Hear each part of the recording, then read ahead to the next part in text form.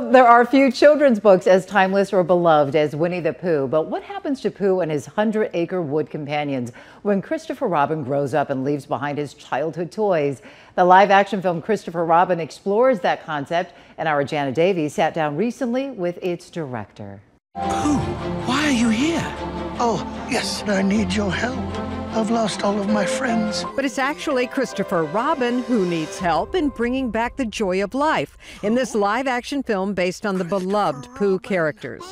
Its German born director, known for edgier films like Monsters Ball and World War Z, gives our city a shout out for his inspiration.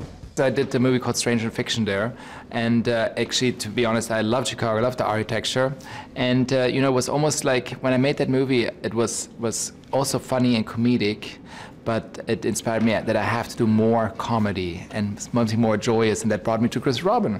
I wanted to make it more of an old school movie in today's age because we are so everybody tries to be hipper than the next one, and I thought just go a little retro, keep it keep it simple.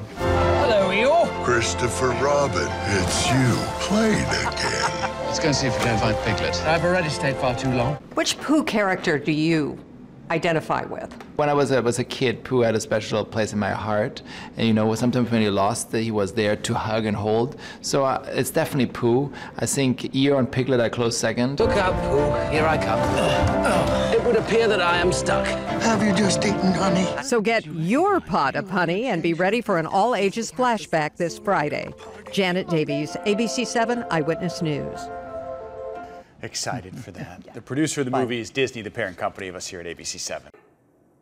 Hey, if you like that video, be sure to subscribe to our ABC7 Chicago YouTube channel.